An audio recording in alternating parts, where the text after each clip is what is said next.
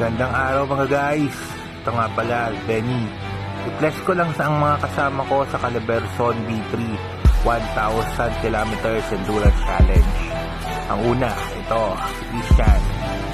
Ang rider ito, lakas ng stamina to, kasama ko ng alang Elenius. Ito naman, si Awen. Samahan ko sa E-Boys. No?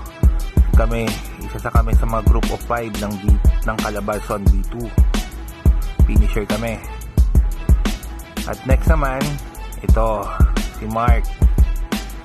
Oh, kagrupo ko sa FCI. Load ito, lakas din. Bakbak kung bakbak. Lagi akong iwan ito. ito naman si Phelps. Ang boy scout ng grupo. So kung may kailangan kang gamit, tools, Sabihin mo lang. At ito naman si Jowen, Endo Rider. Kasabayan ko din sa Calabarzon B3. Lakas din ito. Lupet.